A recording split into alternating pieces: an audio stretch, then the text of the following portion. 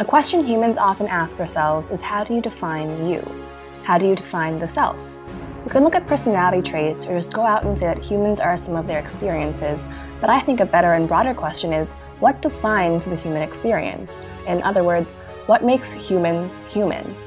In this video essay, I'll be taking a look at Anthony Burgess's novel A Clockwork Orange, and not the film. And this is because the film misses a vital last chapter. A Clockwork Orange is set in a pre-dystopian government that begins to test out Skinnerian conditioning. Skinner's theory is basically the idea that human behavior is conditioned, so, in theory, you could condition someone to act well and morally. Burgess implements this theory in the novel with the government attempting to condition the bad out of our antihero Alex, who is a seemingly irredeemable 15 year old thief, rapist, and murderer. The novel is split into three sections of seven chapters. In the first section, we see Alex's violent behavior. In the second, we see the government's attempts to reform Alex. And in the third, we see Alex's life after conditioning. As Alex is reformed, his free will and desire for violence are stripped away from him, he essentially turns into a clockwork orange, which is an organism with the appearance of life, but is really a clockwork toy to be wound up by an external figure. And it is in this novel where Burgess highlights three major aspects that can help us answer the question of what defines the human experience morality, free will, and growth. When we talk about morality, what we're really talking about is how humans distinguish between right and wrong. In the first section of the novel, we see that Alex has an incredibly appalling and warped sense of morality. We witness Alex and his friends beat an old man senselessly for reading a book with a dirty word. You naughty old veck, you, I said, and then we began to flee about with him. Pete held his rookers and Georgie sort of hooked his rot wide open for him and Dim yanked out his false zoobies, upper and lower. Burgess, pages 6 to 7. With this out of proportionate punishment, we see that Alex finds society's ideas of morality to be silly and worth mocking. When he is caught beating, robbing, and murdering an old lady, he places the blame on his friends, even if they had nothing to do with it. By not accepting responsibility, the reader can infer that Alex has no regard for right and wrong and no regard for the truth or law enforcement. We witness Alex in his most primitive, when his sense of morality is unaltered and undeveloped. Looking at Alex's actions in the first section, we see that he consciously chooses to do bad. He describes beating and robbing a husband and wife shop owner duo as this. As soon as we launched on the shop, we went for the slouse who ran it, complete with six dirty rounds. He contemplates raping the wife, videoing her lying there with her groodies on show. I wondered should I or not, but that was for later on in the evening. Burgess, page 10. In choosing to rape someone later, Alex chooses to spare the wife in the present moment. What Burgess highlights here is that when you choose to do bad, you also choose not to do good. Just as when you choose to do good, you also choose not to do bad. In an essay Burgess wrote for The New Yorker, he talks about his Catholic upbringing. He writes that in Catholic theology, there's nothing to prevent you from sinning if you wish to sin. At the same time, there's nothing to prevent you from approaching the channels of divine grace that will secure your salvation. And this is what we see Alex do. In the first section of the novel, Alex chooses to sin. In the 21st chapter of the novel, however, Alex chooses to do good. Basically, what this means is that human nature is about having the ability to make your own decisions about morality, to live your life and learn lessons as you please. As the book progresses, we see the connection between morality and free will in defining the human experience. Burgess poses the idea that good cannot exist without evil during Alex's conversation with the prison chaplain. The chaplain tries to dissuade Alex from taking part in the government's Ludovico technique. He ponders over the procedure, saying that the question is whether such a technique can really make a man good. Goodness is something chosen. When a man cannot choose, he ceases to be a man. Burgess 83. What the chaplain is saying here, and let's keep in mind he is the only religious and therefore morally righteous character in the novel, is that it is better to choose to do harm than to be forced to do good. Now, when you take a step back, one can see that by forcing Alex to act morally, the doctors, scientists, and government are themselves acting immorally. Alex can no longer choose what is right and wrong. He has lost his freedom and his ability to determine his own sense of morality. He still has his own thoughts, though. He plans to hit people, but can't. I could nearly have smacked loud at that if the old Razdraz within me hadn't started to wake up the feeling of wanting to sick. Burgess pages 134 to 135. What Alex no longer has is the ability to act on his own thoughts and make choices on his own. His reactions are automatic because he has become a clockwork orange.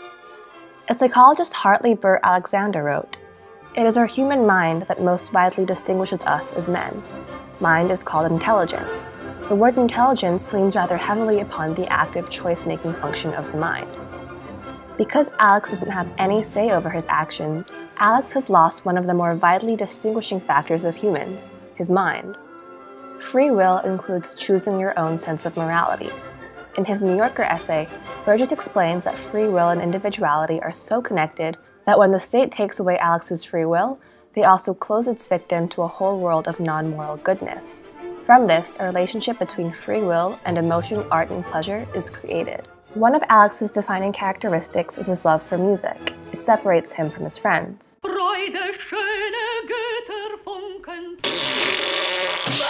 Now, music is a form of human expression and therefore an extension of human nature. When classical music was played under the films Alex watched during the Ludovico technique, a side effect was created such that Alex feels physically ill upon hearing his favorite music. To lose one's free will is to lose your natural state of humanity, not just being able to establish your own sense of morality, but also how one experiences emotion and pleasure. And it's when Alex has his love for music taken away from him where I, at least, began empathizing. To be human is to experience the full range of human emotion, but Alex has no control over how things make him feel.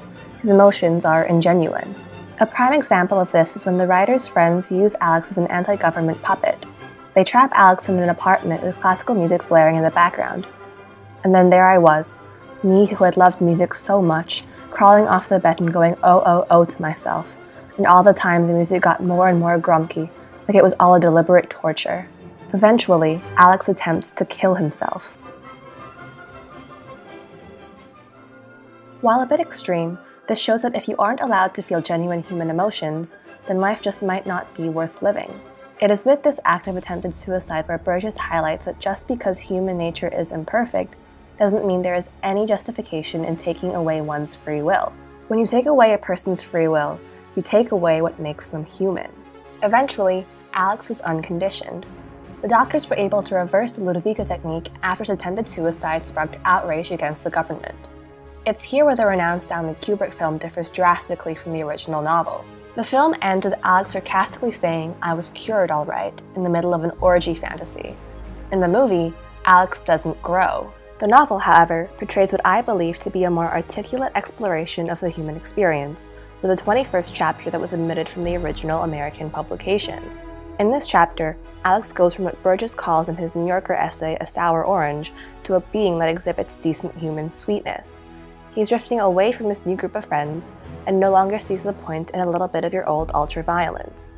After an encounter with a former and now married friend, Alex sets some goals. He asks the reader to imagine him coming home from work to a good hot plate of dinner, and there was his petitza all welcoming and greeting like loving. But I had this sudden, very strong idea that if I walked into the room next to this room, I should find what I really wanted, for in that other room in a cot was laying gurgling goo goo goo my son. And now I felt this bolshy big hollow inside my plott, feeling very surprised too at myself. I knew what was happening, oh my brothers. I was like growing up. Burgess, page 190. Through time and experience, Alex's values and morals have changed. Whether he knows it or not, his experience of having his free will revoked has taught him to be grateful of his ability to make choices.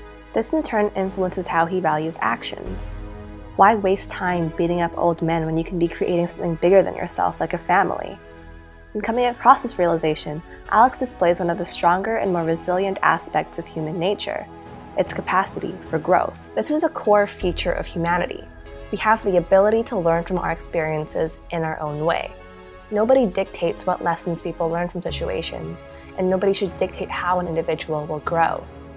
While we don't have to think that Alex is a good person or even empathize with him, and it's perfectly fine if you do, we can look at his narrative to understand the significance of morality, free will, and growth in defining the human experience. As humans, we want the ability to freely experience the full spectrum of human emotion in a genuine way, and, most importantly, develop our own sense of morality.